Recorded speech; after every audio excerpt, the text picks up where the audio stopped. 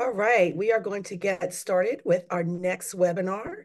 Um, a full service uh, construction management company, Warfel Construction Services, clients in a variety of industries across the Mid-Atlantic region on projects both large and small in scale. At Warfel, the company mission, Clients for Life, guides all relationships and partnerships. All team members strive to emulate the core values of honesty, integrity, accountability, initiative, and teamwork to strengthen client relationships. Joining us today from Warfel Construction to share the things no one tells you about construction at your school are Colleen Lynn, the Director of Business Development, and Justin Walton, the Senior Constructability Manager. Welcome. Thank you. Uh, thank you so much, Yanni. That was a wonderful introduction. Uh, we appreciate the warm welcome. Uh, good afternoon to everyone here today. Um, Jess and I appreciate the opportunity to uh, spend a little time talking about a topic that is near and dear to our heart, uh, construction. Our intent today is to educate you on something that is likely on your mind at some point or another, and that is capital improvements to your campus whether it's deferred maintenance or minor renovations, major renovations, or maybe even a new addition to school, we recognize that the process of going through a construction project can be overwhelming. So let's start our presentation now and start talking about the things no one tells you about construction at your school. So let's talk about starting the journey, and it is a journey. Um, one of the things that many independent schools have in common is beautiful buildings with a tremendous amount of character. However, in many cases, those buildings are decades old. Uh, we talk with a lot of clients who say, oh my, we have a building that was built in 1940 or 1950 or 1960 and we recognize that it's time to make some upgrades, but we don't really know where to start. Uh, with those wonderful old buildings um, aging systems such as HVAC. Uh, we know that our clients need to improve air quality and things to, you know, make the building safer for their students going forward. So something to consider um, is, is the age of the buildings and how to best uh, update those for the future generations. You know, the next question is, do we renovate? You know, that seems like a large task in an older building. Um, do we have an opportunity to add on, or are we fortunate enough to uh, have some land where we could build new? One thing that we can tell you is there are so many options to improve your campus, regardless of what that uh, space looks like. Okay. So if you're a little bit landlocked, that's okay. Uh, we can help bring your vision to life for the future by just thinking through different design options and ideas for what you're trying to accomplish. The question that I get all the time when I'm having an initial meeting with a education client is what can we do? And you would be surprised how many options you have uh, to upgrade your school. Best thing to do is to uh, start with a wish list. You know, what are the things that you really would like to have? Uh, what are the things that you must have? What types of changes have to be made? Uh, and start from there and then partner with the right people to start the process of figuring out how can we bring those ideas to life the active campus and event calendar, one of my favorite topics. So we realize that, you know, the school grounds are bustling with students and activities, whether it is athletics or the arts uh, or some community service event that's happening on campus.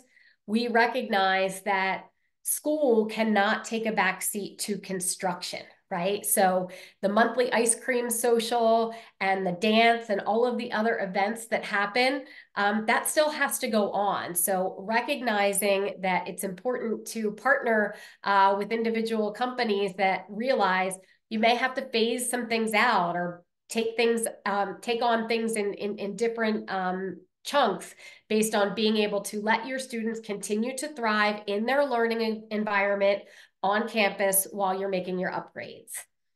what do other schools have? So we recognize also that you're aware of uh, what neighboring schools have to offer from a programming perspective, from an activity perspective, from a facilities perspective.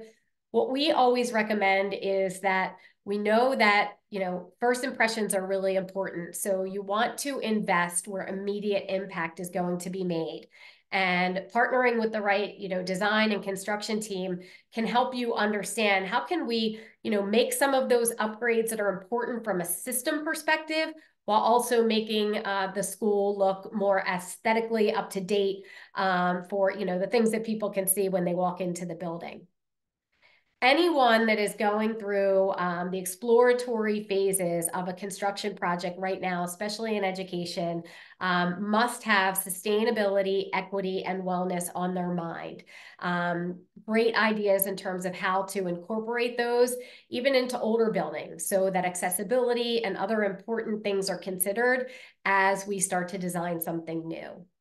And the burning question that I get all of the time when I'm speaking with leadership uh, at any of our independent schools or with any of our education clients is, how do I find time to manage this project? And it's going to take a team.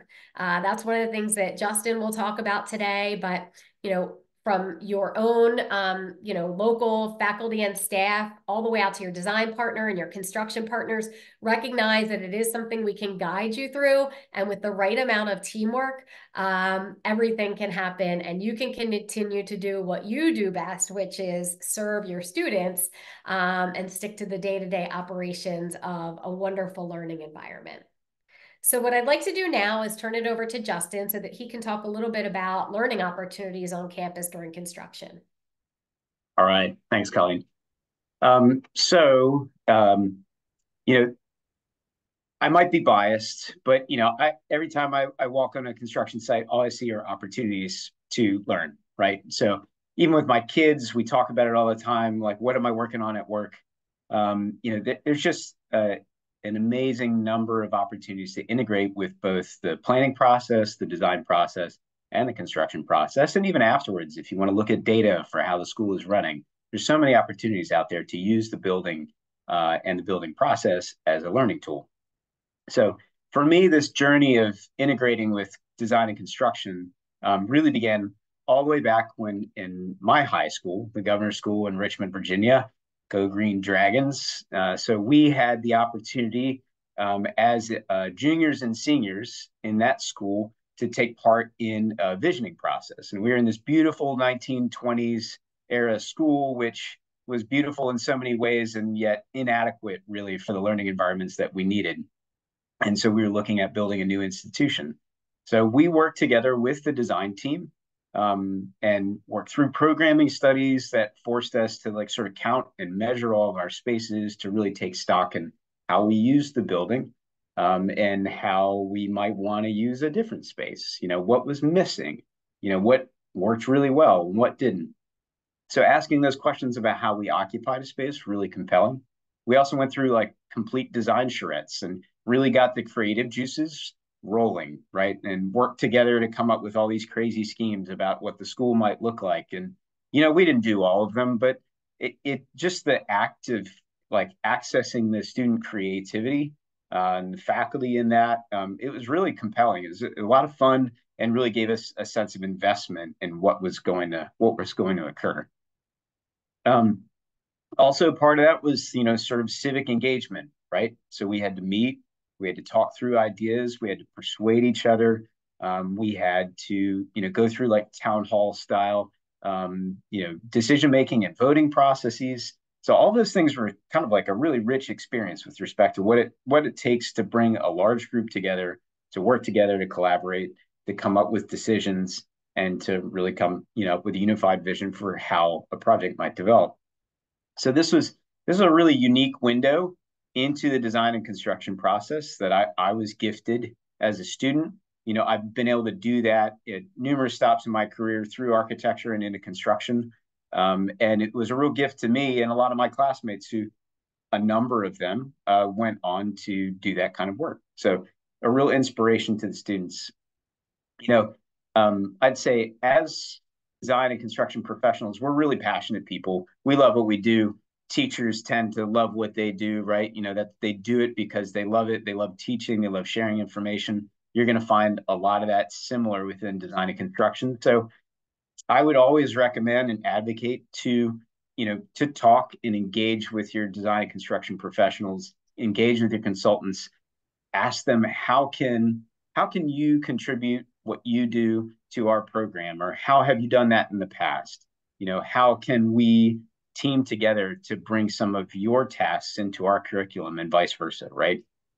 You know, um, so stitching those things together in a real web is a, a, a huge asset to your student body um, and really an asset to the whole process because it builds legitimacy within the process, right? You know, we're doing this big project together and we're all going to benefit from it along the way and we're going to have fun doing it, right? So you're building that like sense of unity and legitimacy. And I just want to leave you with a few like examples of ways in which I've seen it executed in the past or experienced it, right? So using art as a means of inviting student expression. We talked about those design charrettes, getting those artistic juices flowing is always really compelling. You know, maybe that translates into something that can become a permanent artifact within the finished construction. You know, inviting your designers uh, to exhibit some of their amazing like modeling tools, some of their rendering tools, some of their coordination tools, like their spaces, how they work, where they work, um, how they collaborate and communicate with each other, um, all really interesting, right? You know, user engineers, right? They may not be the dy most dynamic people, but they really do have a lot of information. The, you know, how is the structure coming together? What are the different systems and like, how does that work? Would that relate to one of your science classes or math classes in terms of calculating things? Is there something about the science of the building systems that you're using that could be a really great addition to curriculum somewhere? Uh, and this doesn't have to be high level, you know, there's lots of ways to bring this information down to the younger kids that still make sense of things.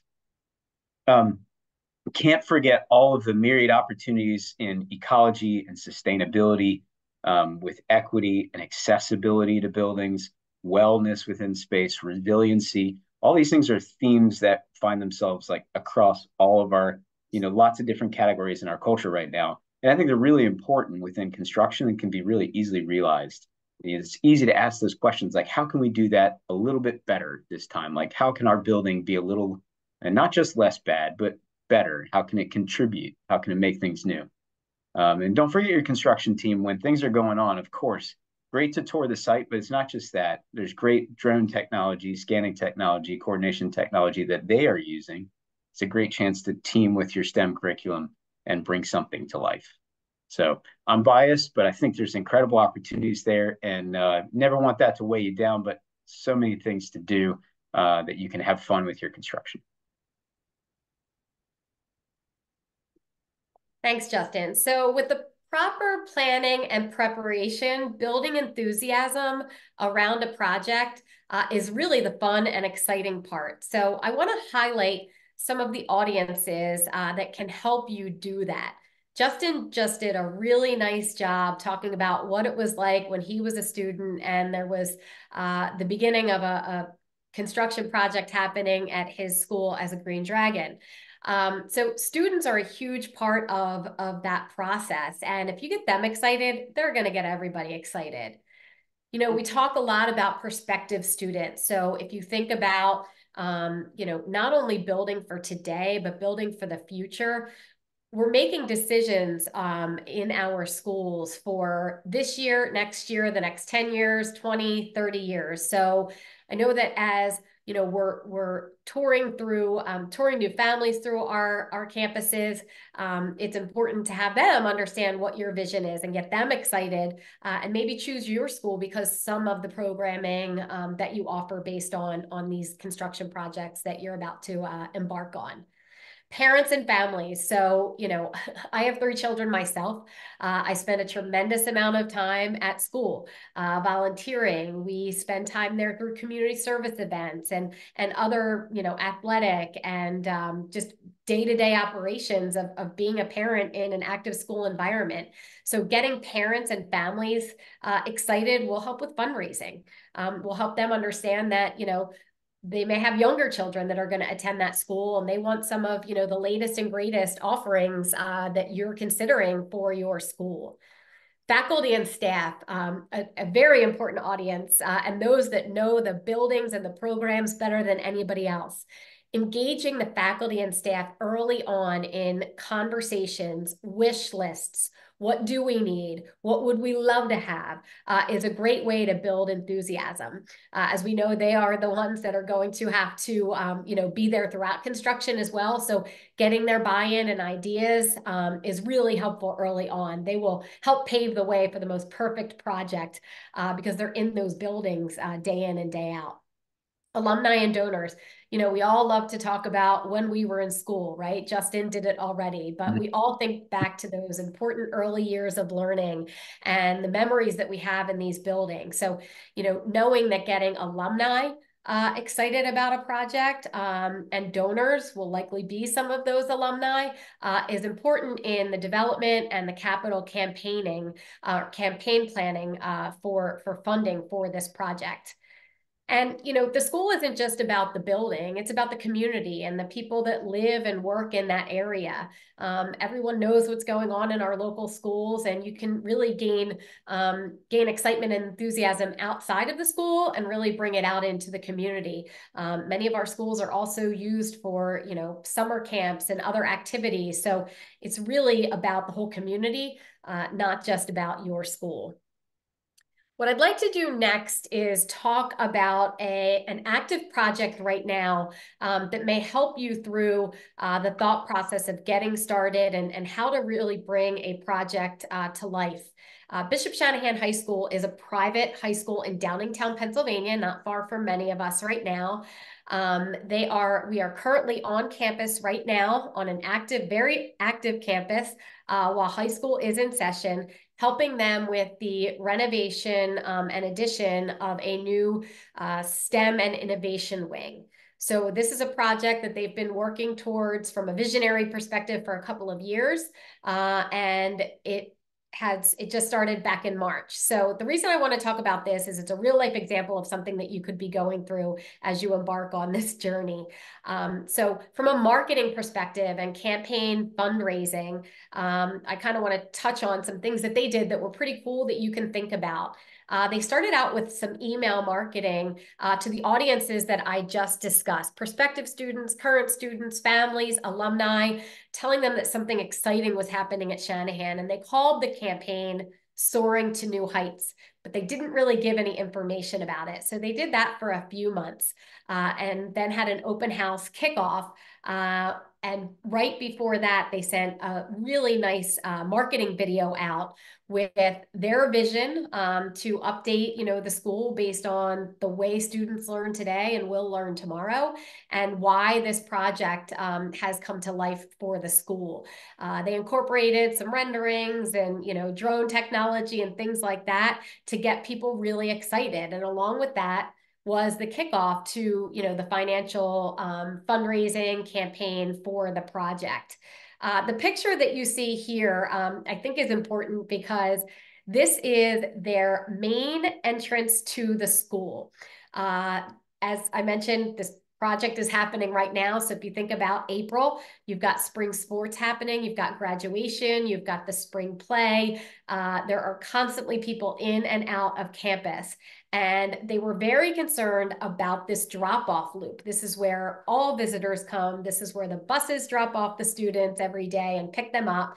So we came up with this idea to market what they're trying to do, which is get people to understand the importance of STEM uh, and creativity and how they are, you know, improving their campus by, you know, launching this project. So behind that fence is uh, all of our wonderful construction equipment. But these are the types of logistical things that you have to think about uh, when you're about to start a project. So they love the fence. It looks nice and clean and it's getting people excited, not only the students, but all the guests that are on campus all of the time from neighboring schools, et cetera. So would love to, you know, talk to anybody more about these types of ideas as well, um, because they it does really help with building enthusiasm around your project. Justin's going to touch on the team and the importance of that next. All right.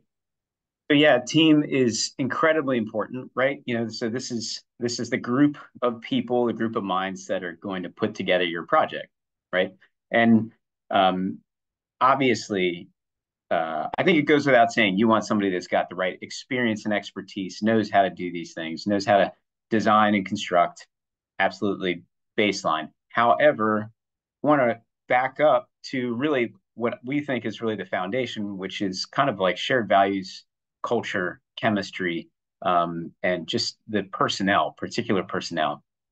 And the reason why I say that is just that, um, you know, I've seen some projects, uh, you know, being in the industry as long as I have, I've seen projects with really skilled professionals, but just weren't a good fit, right? They they have incredible portfolios, but they just don't quite fit the job quite right, or maybe don't have that particular skill set for that project, uh, or just culturally don't share quite the same vision. And in those circumstances, with construction being as complex and uh, you know having as many decisions as need to be made, you know having that foundation of shared values, of trust, culture, of understanding uh, are um, really by far the most important thing, right? You want to be able to trust the person who's sitting across from you, that they have your best interest in mind, that they understand your values, that they understand your culture, and that they're true partners in the process, right? They have no agenda other than to support your work as educators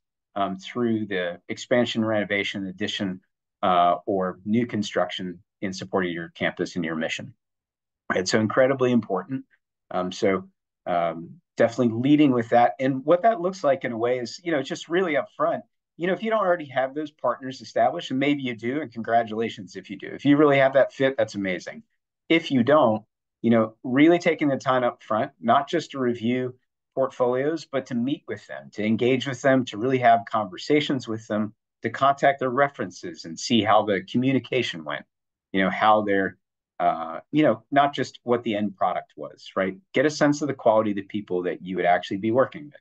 So in that sense, you're asking the question, like, we like you, we like your company, we like the values that you're showing us, but who will you give me to work with?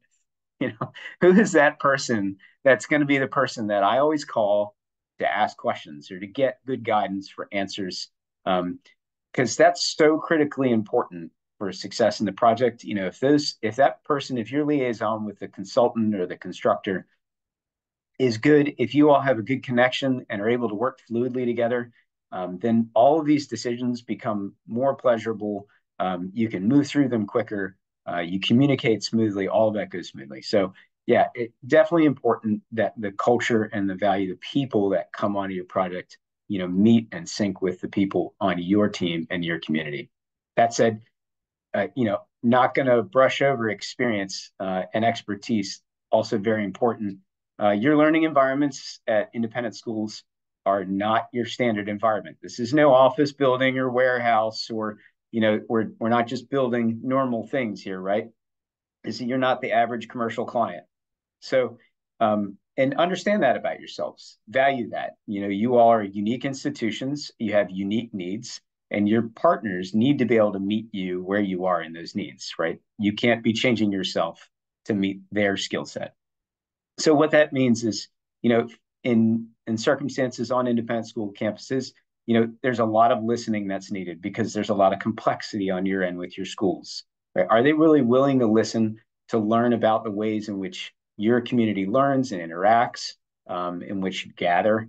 Um, are they willing to understand the particular needs both short term and long term for your institutions. You all are not like short term organizations, right? You're trying to develop campuses and have long, you know, Colleen was hinting at old buildings, right? Well, old buildings means you've been around a while. You know, you may have, you know, you guys may have decades and decades, if not more, uh, of existence, and you're carrying on a long tradition, right? So, do they understand that? Do they understand what your vision is for the future? Are they strong communicators? Are they able to communicate their vision uh, for how you know this design might work or construction might work? And are they able to you know uh, dialogue with you well about that uh, in a way in which you and your stakeholders and parents and students and everybody understand what's going on and what's you know what's going to happen? And um, very importantly, do they have they demonstrated an understanding of what it means to design and construct within a school environment? Right? Are they thinking about phasing to enable your academic calendar to move forward smoothly? Are they thinking about um, like the logistics of how trucks and such might access your campus, right? And are they thinking about the safety of your students? Now, you all have made a promise to the parents who um, are giving their students to you in the morning and picking them up in the afternoon that you'll safely guide them from start to finish of every day. And there's nothing more important than getting those students home safe every day. You know, you want to make sure that your your builders and your designers, as they're thinking about how they're designing and constructing um, for you, that they understand that and that safety is prime and your students need to be making it home every day safe and happy. Both right? Safe and happy. So um, moving on from team uh, the last thing we want to cover is is is really looking outside of the boundaries a little bit so we've talked a lot about what's going on in the school in the community in the campus within the bounds of your your school community but you are a part of a much larger community, right? You have your school has neighbors, you have municipalities that you're you're located within. There's boards and agencies that might oversee things that uh, you know have a stake in what you can and can't do. Um, there's organizations, you know, or businesses that might have a input, you know, that might be located near you, that might have a stake in what you're doing, and, just generally interest groups of all kinds um, that you know kind of stake their own territory from time to time about what they can and uh, or what they'd like to comment on. Right? You probably experienced that. Um, no different in construction processes. You know, laying the groundwork of successful relationships within all these different categories. You know, years ahead. Um, thinking about design and construction is something that's possibly inevitable, uh, in that you should be thinking about how you're enabling that now so that later on when you go to execute a project you can do that smoothly there's uh there's you know as as educators and leaders of schools you know you probably think a lot about development. We talked about development a lot and that's uh, typically like hand in hand with construction.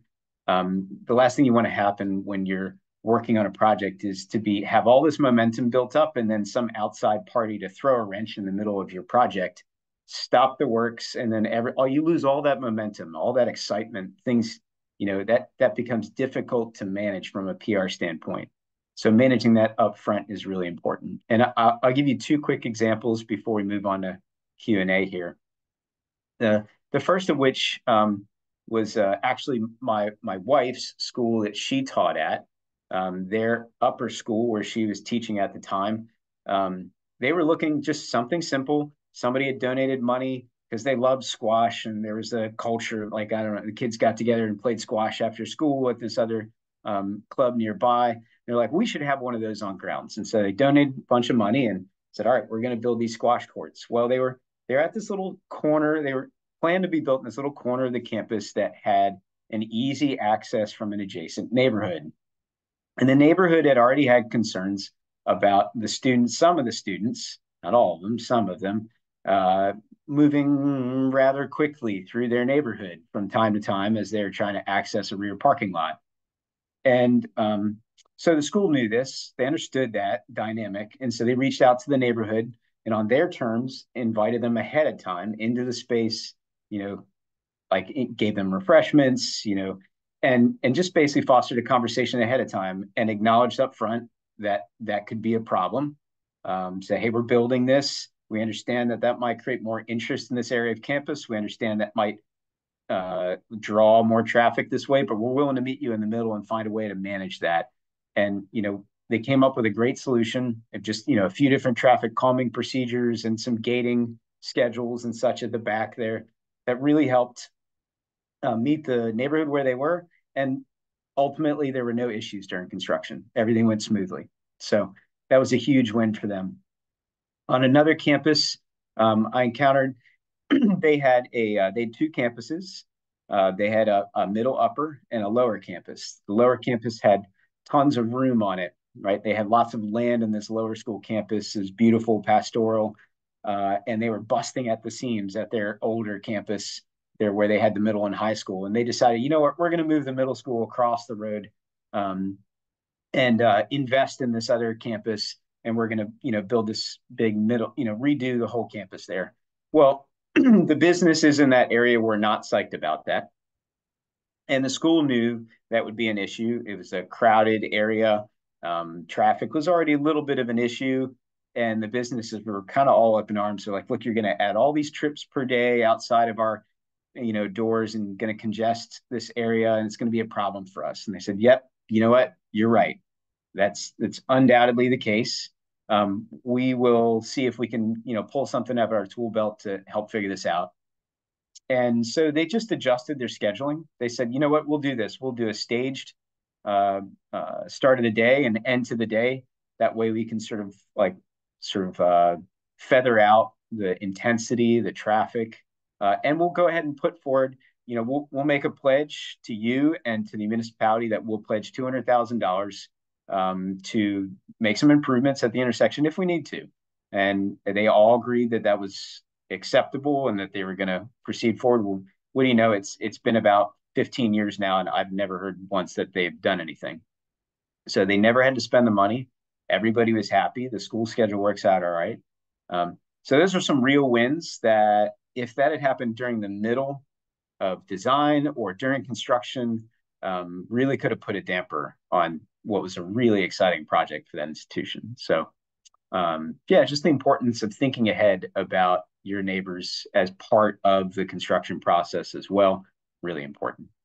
So um, we know we haven't touched on everything uh, by any means whatsoever. Um, and we had to just select a few key issues in order to like share those with you here in this format. But if you have any questions, both about what we said or maybe something we didn't, um, please feel free. So ask away.